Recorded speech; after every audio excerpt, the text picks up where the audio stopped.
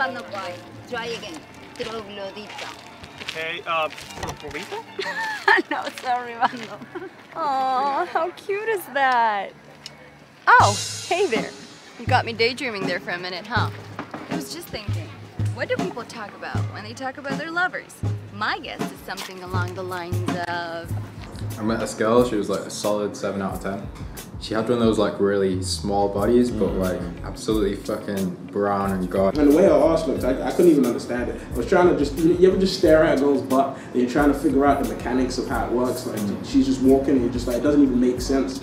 Some muscle on the shoulders, some chest muscle, nice abs is always attractive. or something. of the sort. Beauty nowadays is generally regarded in its physical form. We can blame social media, society for that, I don't know. Damn, girl. That's exactly what I'm talking about. We have designed models and numbers and rules that measure and categorize different physical features into groups and scales. For example, did you know that we find symmetrical things more beautiful and appealing than other stuff?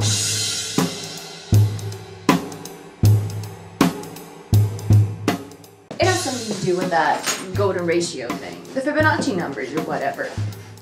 Look it up. Or you can measure your body and apply ratios to it. If you fall in the intervals defined by scientists, then you're considered sexy.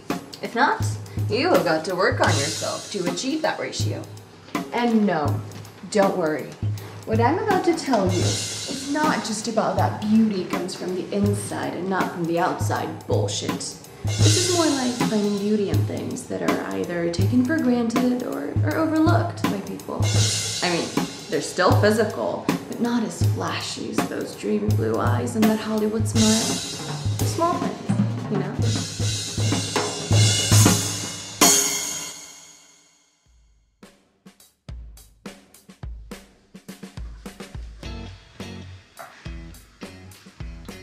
Alright, first things first smells. One of the smaller things that are usually not at all spoken about is someone's smell. Yes, as weird as that sounds, I came to understand from my solo career that guys have different distinctive smells. I'm not talking about their colognes. I'm talking about the odors that your nose picks up when you get uncomfortably close to them. It could be the smell of their sweat after a long day moving around, the cleaning powder they used to wash their clothes, or cheap ass cologne you gave them on their birthday as a low effort present. Sometimes even the smell of places where you normally meet them. What I'm saying is that when you're with someone for a while, you register a specific smell to them that you really like, and over time, when you swap somewhere again, you get reminded of them, which is funny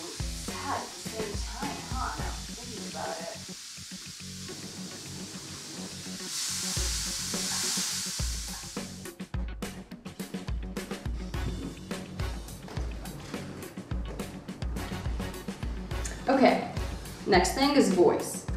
My god, where to start? There were some people I never liked just because of how they sound. And you see, voice is only the beginning of it.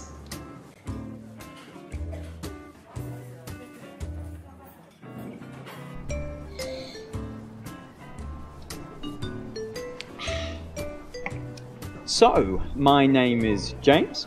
I've been living here for three years. I study acting at the Budapest University of the Arts, and for breakfast Doesn't acting require a bit of charisma? Your way of speaking is far from being so. I've never said that to anyone out loud, but I wish I did. Could have saved a guy or two. Good stuff. You're paying. Have you ever heard of up talk? It's when people come to the end of a sentence and like go up. makes it sound like a question when it's definitely not. Ah, Can you like kind of avoid that? It's like so annoying to the point that I stop listening the moment they do it. Noticing anything else I'm doing there? Filler words. Like, kinda, I don't know. Um, they say that women are more prone to use them, but I have met a handful of masculine guys who do as well, thinking they sound cuter or more polite or whatever. It is fast spreading like the plague, and contagious. You're too close. But okay, back to voice. Talking like a man with a slow and confident pace is attractive. When guys first wake up in the morning and their voices are so groggy and not so warmed up, it gives me the chills. Alright, I think it's time I got the fuck out. Disgusting, I need it so.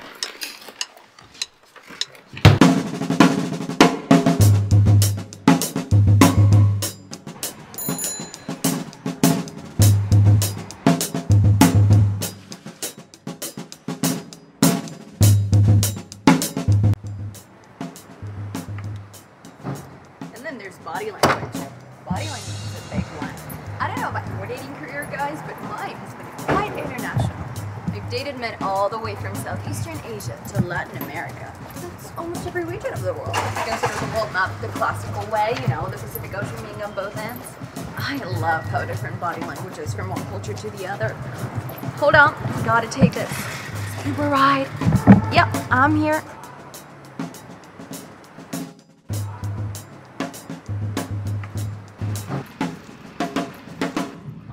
Example, when I hugged my ex-Japanese boyfriend on our second date, he played dead in my arms. But he explained to me that in Japan, people don't really hug each other on the first few dates. And as the relationship progressed, I kept discovering more and more body language cues. They may seem quirky and funny at first, but then you grow fond of the person and you started finding the cues.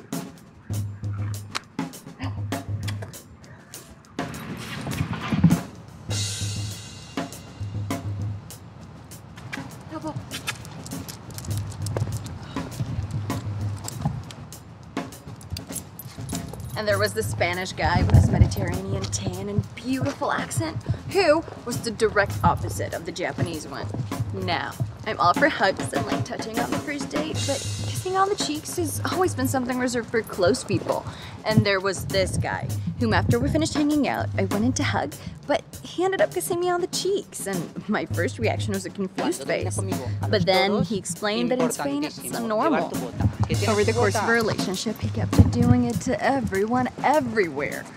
Got me a bit jealous, but I knew it was a part of who he was. And did you know that depending on which region you're from, you would either move to the right or to the left when hugging? I noticed people from Spain go to the left and people from Asia go to the right, just to mention a few. And as I said, the longer you stay with someone, the more you discover about their nonverbal language. Alright, I'm on my way.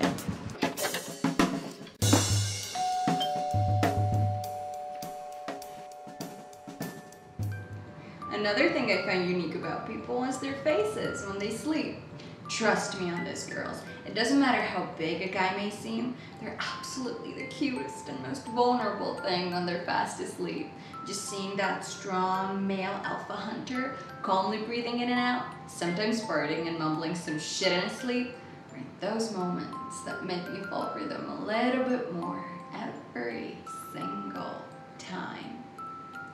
Oh, how cute. Hey, wake up. It's time to go. What I have just said could be the beginning of the things that we take for granted in people. What I invite you all to do is to. Oh, it was nice meeting you.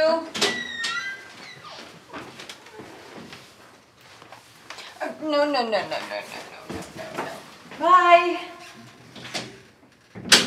Anyways, as I was saying, in this day and age, we tend to overlook the small things that make people unique and focus on what's shallow and obvious.